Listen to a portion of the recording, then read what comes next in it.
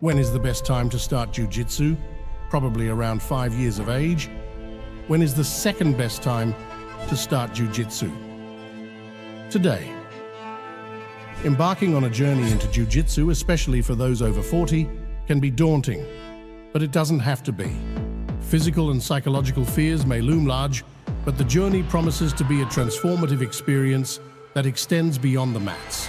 We hope you are enjoying our podcast interviews.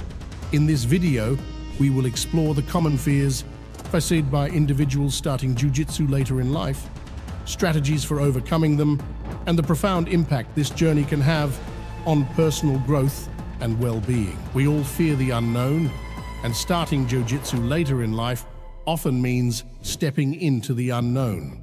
The fear of not knowing what to expect, coupled with concerns about fitting in among younger practitioners, can be paralyzing.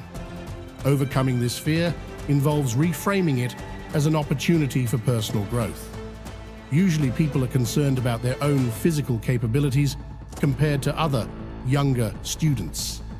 The physical demands of Jiu-Jitsu can be intimidating, especially for those who haven't engaged in regular physical activity. Addressing this fear involves starting gradually. The easiest way to stay safe is to not let your ego drive your training.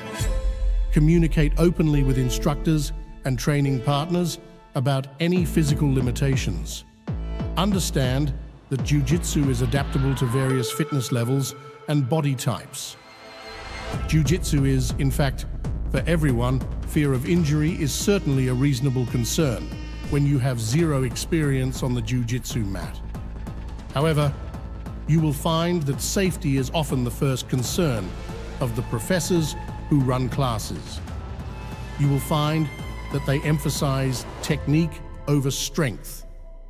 Most schools offer a supportive training environment with careful training partners and good professors.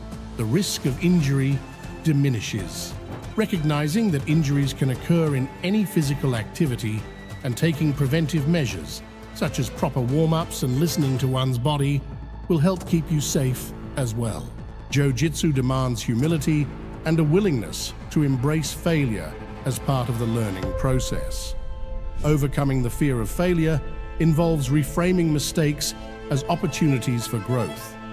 Accept that everyone, regardless of age or experience, goes through a learning curve. Allow yourself to focus on progress rather than perfection. Balancing work, family, and other commitments can create apprehension about the time required for Jiu-Jitsu training. However, when you weigh the benefits of the time, you will spend training against the time you would spend doing other activities. You will quickly see that the dividends that come from Jiu-Jitsu training outweigh so many other ways you could spend your time. Jiu-Jitsu is an investment in overall well-being. The fear of not measuring up to younger, more experienced practitioners can be discouraging. Overcoming this fear entails understanding that everyone's jiu-jitsu journey is unique. Focusing on personal progress, celebrating small victories, and seeking inspiration rather than comparison can transform this fear into motivation. Starting jiu-jitsu after the age of 40 is not just about learning a martial art, it's a courageous step toward personal growth, resilience, and well-being. By acknowledging and addressing common fears, individuals can navigate the challenges and embrace the transformative power of Jiu-Jitsu.